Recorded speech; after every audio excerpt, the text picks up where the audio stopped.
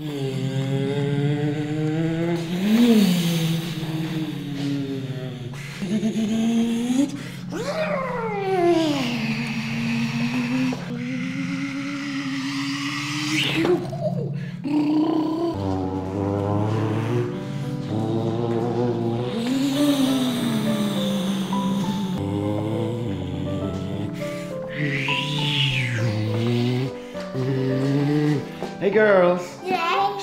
drone? Yeah. Oh, I'm afraid it's not a toy, so sorry but no. But, ah, that's not fair.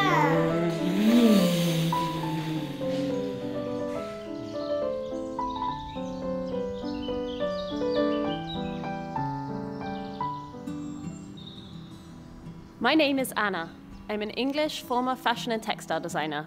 I moved to Paris age 23 to work for the French couture house Balmain and stayed for the croissants, the wine, and of course for Philip, a filmmaker from the South Tyrolean Alps. After 10 amazing years, getting married, buying and renovating two homes, and having two babies, we decided city life was no longer for us. Philip had been dreaming of buying a chateau since the day we met and finally convinced me to start looking. We came to visit Chateau Gonneville sur Honfleur. Despite being in quite poor condition and needing a complete renovation, we immediately fell in love. In May 2019, we got the keys to the chateau, our new home. With a tight budget, we had no choice but to do most of the renovations by ourselves. We're learning new skills as we go, building muscles we never knew we had, and getting creative to make the chateau as personal as possible whilst preserving its historic features. It's all part of this crazy family adventure, and we wouldn't change it for anything. It's a really exciting day today because after two years of hard work renovating inside the chateau, we're finally starting a new phase of work outside and we're going to start creating a beautiful landscaped chateau garden. It's not like we haven't done anything outside. When we bought the chateau, it was completely overgrown. We had to spend a massive amount of time to clear the back garden, the front garden. There were brambles, there were weeds. And also, do you remember some of the outbuildings, we couldn't even see them. Yeah, it's true. They were so overgrown, we didn't even know we had them. And uh, now we finally reached a phase where we can think at the master plan. And I even have a shopping list for a couple of plants that I want to plant as soon as possible. Yeah, but hang on a second, before you get too excited, we've got that bonfire that we need to get rid of. All right, let's go and make fire. Okay.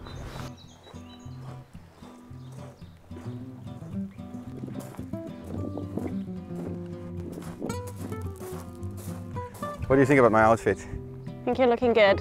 You're looking ready for the job.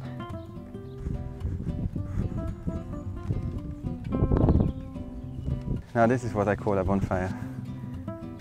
Yeah, we let it grow a little bit out of hand, no? The, the pile of... Well, the thing is, in the summer, you're not allowed to make any fires here. And in the winter, it was too wet, so that's the perfect season to, to do it. Still, this is so big that we had to call the mairie, the town hall, to warn them that we're making a fire. And they agreed. So, remember last year when we desperately tried to make fire? There's one thing, I knew you shouldn't do that. You shouldn't use petrol to make a fire. But I thought it was something like, you know, you shouldn't, there's a lot of things you shouldn't do, but you do them anyway, and it kind of works. Luckily enough, I only used a little bit, but that was enough to produce a huge flame, and I lost my eyebrows in the process. And, and then I called the farmer, Jerome, and asked him to help us. And I think we looked like idiots from the city who don't even know how to make a fire. And he said, well, whatever you do, don't make the mistake of using petrol. And I, I it's too late. Whoops. Whoops. But then we finished and then we managed and he showed us how to do and I think now we are ready to make a nice big fire and hopefully it works.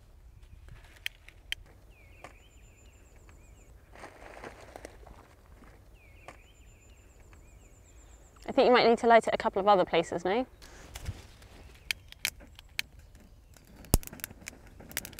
That's a Christmas tree. That works well. Yeah. Let's get more Christmas tree in. Ah. Goodbye Christmas tree.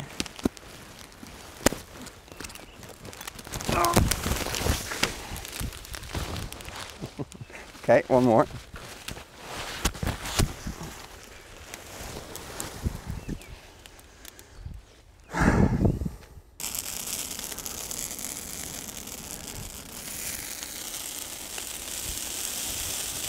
That's why it's dangerous to use actual candles on Christmas trees.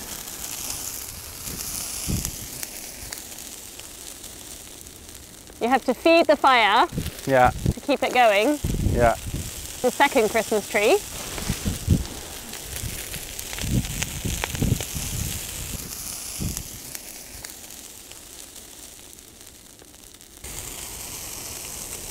Wow.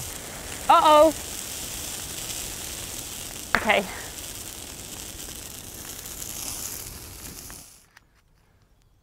What are you doing, Anna, going all Monty Don? You're supposed to watch the fire.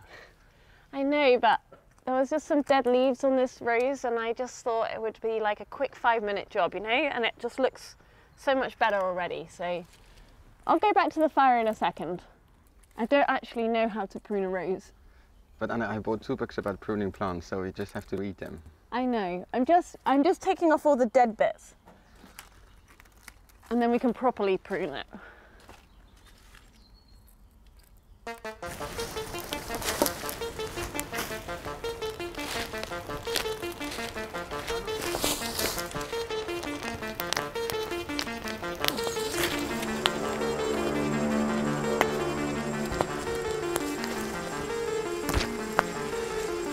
Your bonfire wood burning performance leaves much to be desired. Please report back to your master. Please report back to your master. Philip, you're so childish.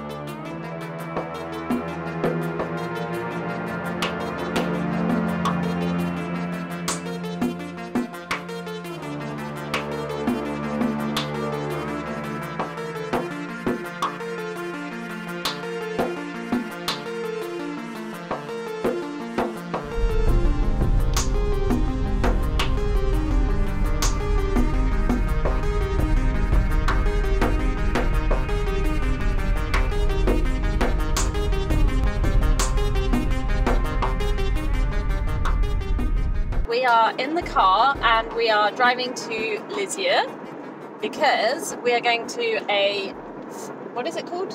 Tree fair. We're going to a tree fair. Very exciting stuff. We are planning to start on the garden and we need a lot of trees, a lot of shrubs and bushes. And apparently, this is the oldest tree fair in the whole of France. Are you excited, Philip? I'm very excited. Now that we mapped out all our needs, then we have a list, and let's see if we can find any of those plants in our list. Because what we want to avoid is to randomly buy plants because we like them. That's what I would do. I have a kind of habit of going to the supermarket and coming home with Random plants. pot plants that Philip tells me is actually meant to be for indoors, and I try and plant it up outside. Philip, did we just get overtaken by a lorry? Yes. You are a bit of a granddad when you're in the car sometimes. So we've arrived in Lisieux, and now we need to find somewhere to park with our trailer, which is going to be a little tricky. But you can see it's all been pedestrianised. Basically, the whole city has been turned into a garden fair. So the parking challenge has begun. We just asked the policeman where we should park, and he told us Evreux, which is another city. so that was not a good sign. Philip, have you just found us a parking? I think so. I it kind of looked like a parking. Let's hope. I just need to maneuver with the hanger.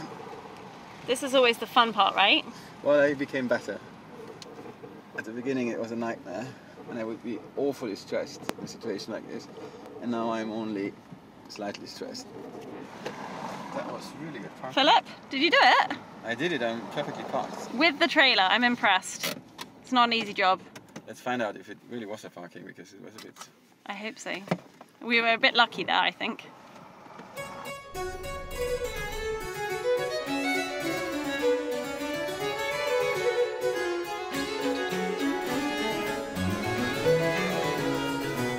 Such a pretty town.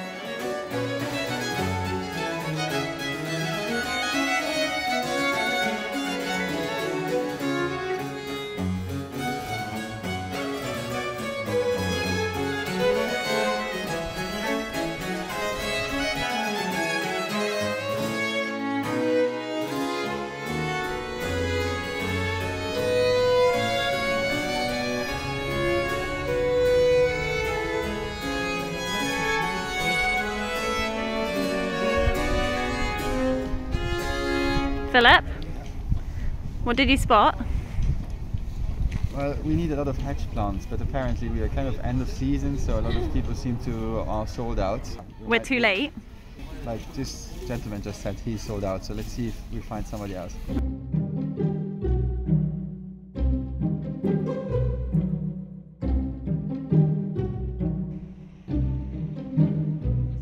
So we have found what we needed, which is the Mexican orange blossom. And Philip is in the process of trying to negotiate. I'm really happy. Good Yes. price. I think 15 euros each, no less, 13 euros each. Oh, so you managed to negotiate a bit. Of course.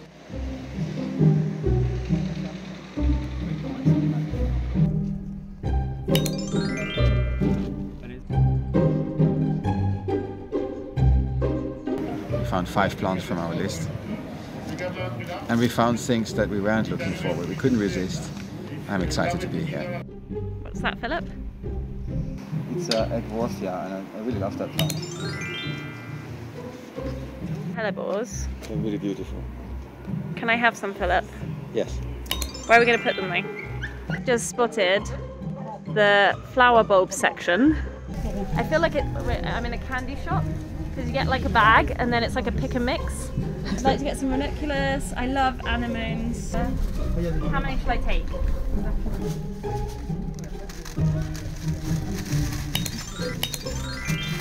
I think we might have found our cornus. Is this the one you wanted, Philip? So I think we're taking those three. So the gardening guy just very kindly offered to show Philip where we can find some of the plants that we're looking for. Il reste deux, c'est ça Bah écoute, euh.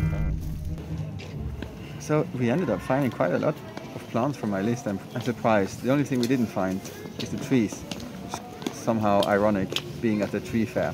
And now we should go and get some. Uh, what do we need? Oh, we need some. What did you say? Some fruit trees. Oh, we need some fruit trees. For your Uh, mum. For She my mum. She asked us to get some fruit trees. Apple trees, pear trees. It's my dream to replant the apple orchard one day. So do you think do you think we could buy some apple trees today?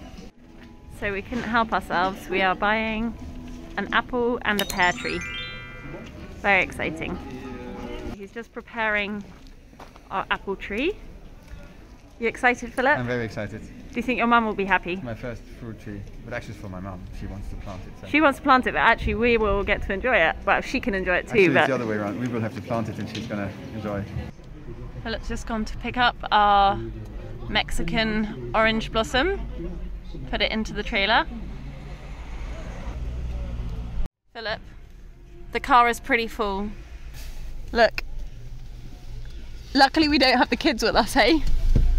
So we just have one more thing to pick up the hornbeam hedge. 300 hornbeam plants. And you know what that means? What? That means that we have to plant 300 hornbeam plants.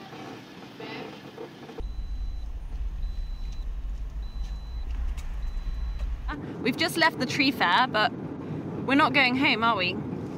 We just can't get enough of plants and trees today. So after spending the whole afternoon at the tree fair, we go to one of my favorite tree nurseries. We found a lot of things, but there were some essential trees missing, and I think they might, we, we might get lucky there. We're going to go in, hopefully get the trees that we need, and then get back because we've only got about an hour before the curfew starts. They also have the most amazing collection of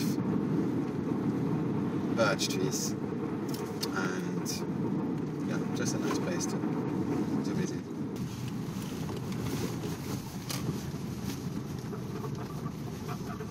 It's a botanical nursery, which means they have a selection of really, really nice plants that you can't find everywhere. And they were also really nice to us next and gave us a lot of tips.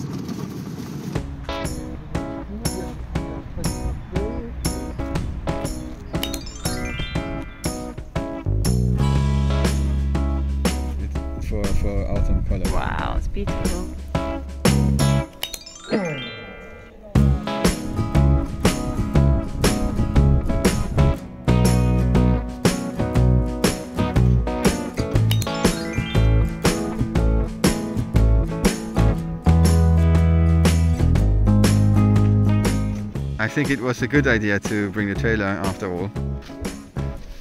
And this is the car. And these are the lovely owners of the Pépinière. Just thinking, did we overbuy? Uh, we did get a bit carried away. We were supposed to stick to the list. We did. I think the only thing we bought that was extra to the list were probably my flower bulbs. Yeah, and that's totally le- legit. And that's okay just because you did the list and you wouldn't have thought about, you know, cut flowers. No, I'm not a cut flower guy. So actually, we did okay. Yeah. We just probably didn't expect to get everything.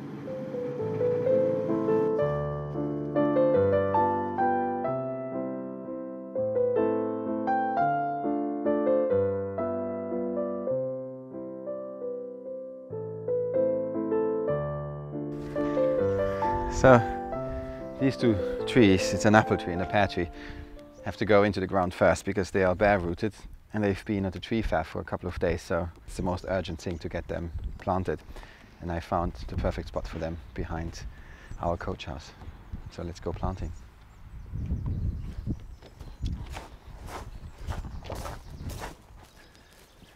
This is a bit of a backstage area. You can see the chateau in the background and this building here, this is the back of our coach house. It's a beautiful building and I can't wait to restore that. And here, underneath these trees and brambles, there's another building, sort of wooden stable. You can access it from the other side and it looks like coming out straight off a Blair Witch film. One day I will show you. This is the first time for me to plant a fruit tree, at least a professional one, a farmer grade one. And unlike normally, I read the instructions and it seems to be quite a straightforward job. This is a Pommier Elstar, which is a really, really good apple. And the pear is a Conférence, which is one of my favorite ones because they, they're quite hard and yummy. Now I need to dig.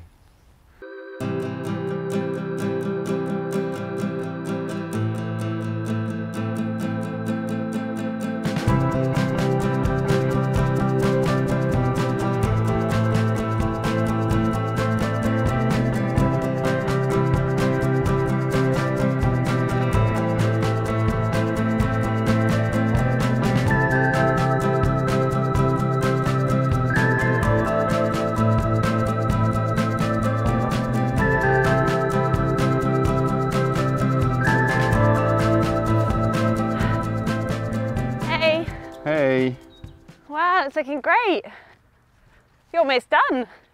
Yeah, almost. Elstar. Oh, that's good. That they're really delicious. Those ones. Exciting.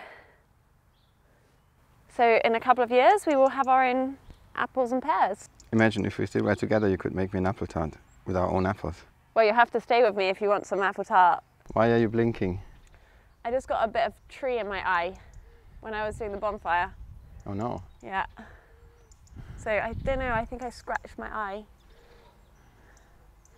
So I'm stopping for a bit.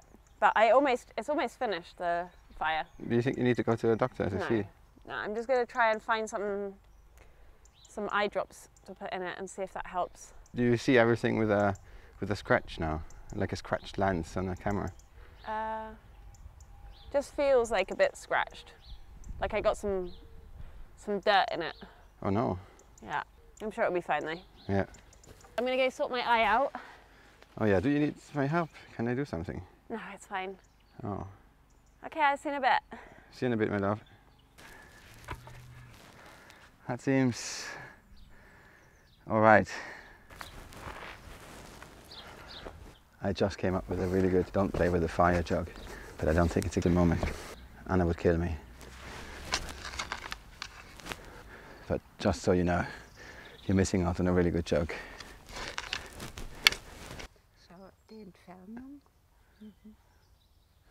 So it's really bad news. I just wanted to show my mom, very proud how I planted these two trees and she arrived and I said nice, but she thinks they are too close together because this one will grow eventually up to here and this one will grow eventually up to here, so they touch. So ah, that was a silly move. Yeah, thank you, Mom.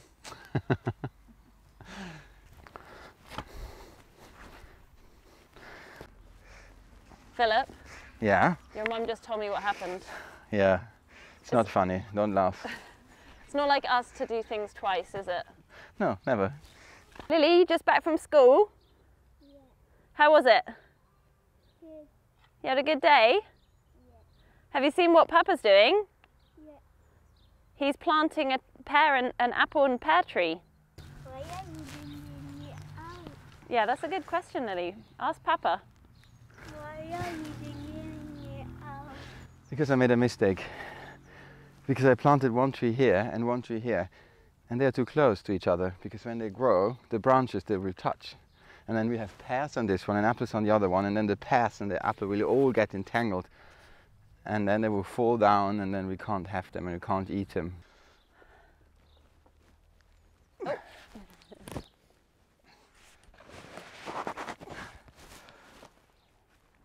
Yeah. And sorry, tree, for being a bit brutal. Second time lucky. The problem is that we're not going to have enough soil here. Why? Where did the soil go? I don't know how it works, but it disappeared. I dig it out, I put it here, and when I fill it in, there's not enough. I told you it's not enough. It's very strange. But there's still some here, look. Yeah, that's nothing. Look. Still like a. Hmm. Interesting. Yeah. It's a mystery. I'm sure there's a simple logical explanation for that involving black holes, parallel universes, and quantum mechanics, but I don't know which one it is right now. Or it could be that you've just made a big mess and the soil is all over the grass. Here. I'm happy with my planting. Tree number one. And barely visible the faulty tree. No, it looks great. And tree number two.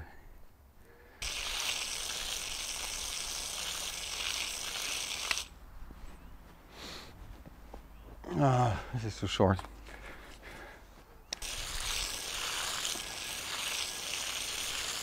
Ah, works. I also put down some of this. Now, I'm not sure if it's a good idea. It should be some sort of mulching to prevent the grass from growing around the tree, but maybe it makes the soil too acid. I don't know. Maybe you out there, you have an idea, and please write in the comments if you think I made a big mistake. If you enjoyed this episode, don't forget to subscribe and hit the like button. For exclusive videos and behind the scenes updates, have a look at our Patreon page. Thank you so much for watching.